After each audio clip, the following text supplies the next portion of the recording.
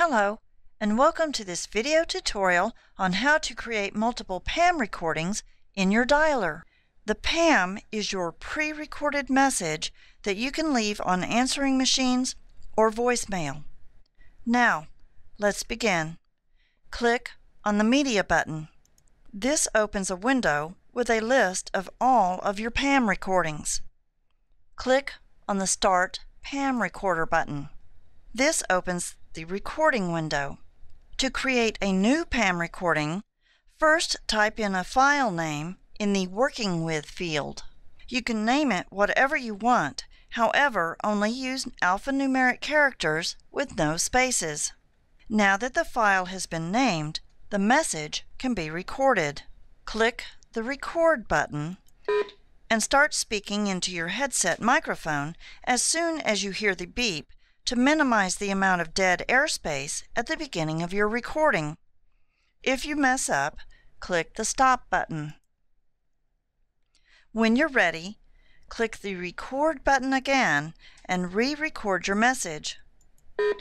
This is my PAM2 recording. Click Stop when you're done. Click the Play button to listen to it. This is my PAM2 recording. If you don't like the recording, click the Record button again and re-record your message.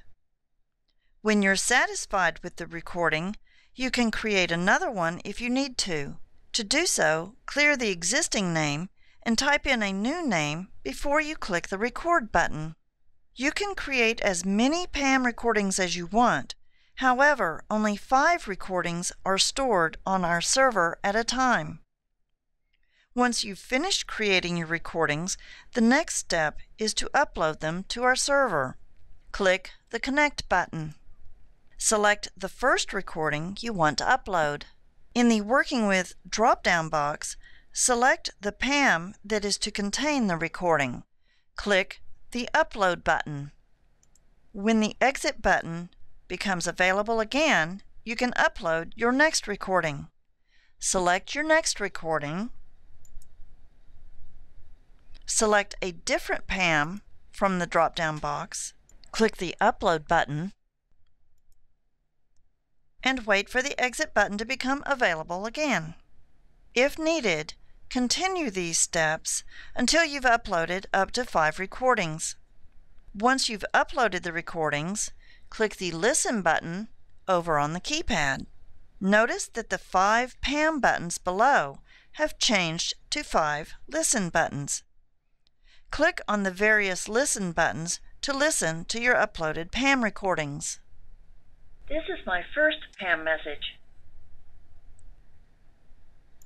This is my PAM2 recording. If you hear your messages, you have successfully uploaded your PAM recordings.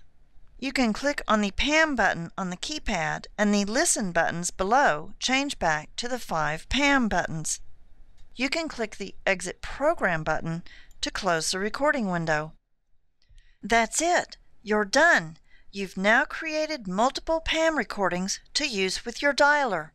Thank you for taking the time to watch this video.